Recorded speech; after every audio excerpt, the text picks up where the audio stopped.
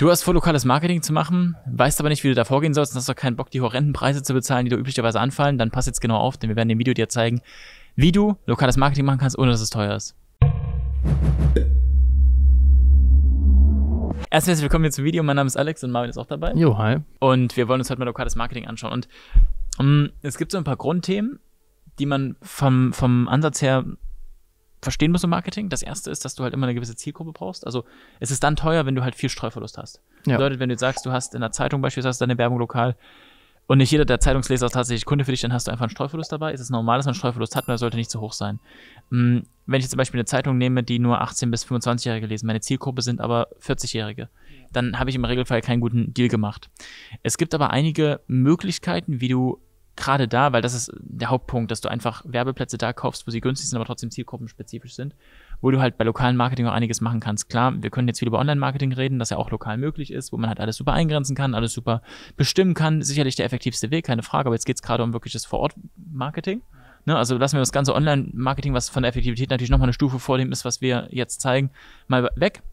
Und bei lokalen Marketing kannst du dir genau überlegen, deine Zielgruppe. Gibt es bestimmte Gegenden, wo die wohnen?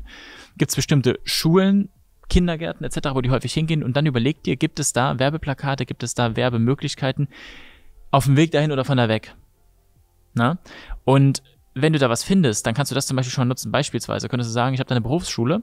Vor dieser Berufsschule, ich brauche Mitarbeiter, ne? ist einfach eine große Werbetafel. So, sinnvoll wäre es jetzt, wenn du direkt vor der Berufsschule dauerhaft sichtbar bist. Warum? Das kostet dich vielleicht mal ein paar tausend Euro im Jahr, ja. Aber für alle Leute, die in der Region ausgelernt werden, bist du dauerhaft sichtbar. Und das ist, das ist Sichtbarkeit, die ist schon sehr, sehr günstig dann im Verhältnis. Das gleiche kann sein, da gibt es eine Schule oder zwei, drei Privatschulen, wo halt alle reichen Leute ihre Kinder hinschicken und auch jeden Tag holen und äh, hinbringen und abholen. Mhm. Ne?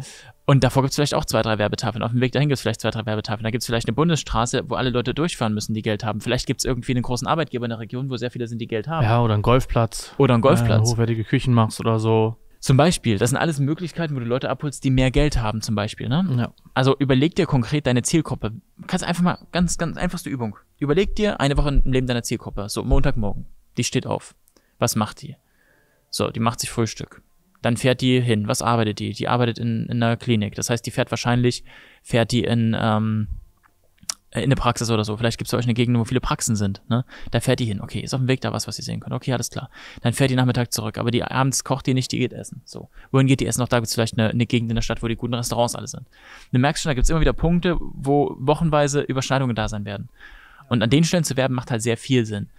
Ähm, ja. Ja, das gleiche ist auch jetzt, wenn man das überträgt, zum Beispiel auf das, ähm, jetzt nicht nur das Marketing lokal für die Neukundengewinnung, sondern auch für das Recruiting, kannst du dir zum Beispiel auch überlegen, gibt es vielleicht irgendwo Industriegebiete, ja. wo vielleicht viele Hallen sind oder viele, ähm, viele Produktionsstätten sozusagen, wo halt vielleicht auch Leute sind, die auch in deinen Betrieb passen würden, ne? Jetzt vielleicht nicht direkt, ähm, aber ja, aus, aus, dem, aus dem Dunstkreis sozusagen dieser ähm, Produktionen, ja, ähm, wenn du da einfach bei der Ein- und Ausfahrt zum Beispiel von diesem Industriegebiet sichtbar bist mit einem Plakat, äh, dann kann es das sein, dass sich der ein oder andere dort ähm, ja, angesprochen fühlt. Und wenn er kein Plakat ist, dann stellst du einen Anhänger hin. Ja. Den kannst du zwar überall hinstellen. Also, ja, weil und das ist halt kein direktes Abwerben so und das ist halt einfach smart. Ja.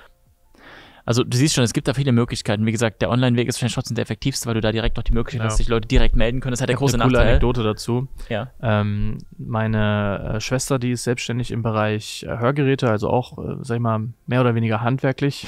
Im weitesten Sinne. Im, weit, Im sehr weitesten Sinne. Aber die haben halt auch seit, ähm, also seit ja, Monaten sozusagen lokales Marketing gemacht mit Flyer verteilen, mit äh, mit ähm, in, der, in der Zeitung immer aktiv sein, mit ähm, ja, Sachen da verteilen, Flyer verteilen und so weiter. Also viel lokales Marketing gemacht. Und Laden läuft auch gut, aber hat halt alles so nicht jetzt zu direkten Anfragen oder so geführt. Ne? Und dann haben wir mal, ähm, ja, seit zwei Wochen oder so machen wir das jetzt, haben wir ähm, quasi mal einen ganz direkten Online-Marketing-Kanal sozusagen aufgesetzt. Und seitdem flattert halt eine Anfrage nach der anderen rein. Ne? Also das, da sieht man mal so diesen Unterschied zwischen, ich bin zwar in der Region sehr, sehr präsent, ne? auch mit regionalem Marketing und allem und mit Flyern und mit Zeitungen und allem. Aber ähm, dieser Unterschied, wenn dann mal wirklich ganz konkret auf einen ja, kostenloser Hörtest ist das da in dem Fall. Ja. Ne? Der Eintragungsmechanismus. Halt. Eintragungsmechanismus ist ja. das A und O. Also online hast du da so einen krassen Hebel. Die beiden sind auch total verblüfft, weil ähm, sie diesen Effekt halt so jetzt so, so krass sehen, ne? weil ich gesagt habe, wir machen das jetzt mal an und schauen dann, was passiert. und sofort kommen halt die Termine reingeflattert. Und im Vergleich zu, weil sie dachten, sie machen ja schon Werbung und Marketing, ne? Aber dieser Unterschied zwischen lokalem Marketing und Online-Marketing, wo ich einen direkten Eintragungsmechanismus habe, der ist halt wirklich immens. Das ist immer das große Problem. Und selbst wenn du auf dieses Plakat deinen QR-Code drauf Ja. machst, auf die Website linkt, bis den jemand eingescannt hat, vergeht Zeit. Online bist du eh Genau. dran. Ein Klick. Ja. Das ist schon, es ist halt, es wird unterschätzt, ne? Aber du kannst genau die gleiche Zielgruppe, genau mit der gleichen Häufigkeit offline erreichen und trotzdem wirst du weniger Ergebnis haben, weil du online einfach von der Conversion Ja. stärker bist. ja, so viel dazu. Ja, in dem Sinne würde ich sagen, wenn da was für dich dabei war, Daumen nach oben da lassen und ähm, gerne die anderen Videos auch anschauen, weil da erklären wir auch konkreter, wie Online-Marketing dann gezielt funktioniert. Und dann sehen wir uns im nächsten Video wieder, würde ich sagen. Bis dann. Jo, bis dann, ciao.